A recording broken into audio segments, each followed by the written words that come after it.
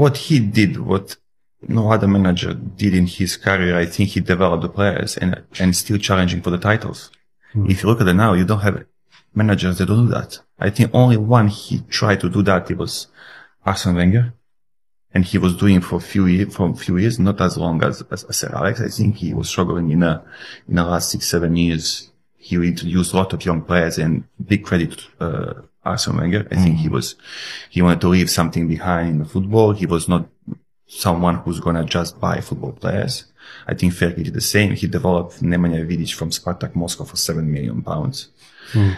Patrice Evra, mm-hmm. uh, many, Park. Ji-sung Park, but you can say Giggsy, Scholesy, uh, Nani, Cristiano Ronaldo. Cristiano Ronaldo. So you can see that he didn't board out players to give him the title. He create new generation of football players.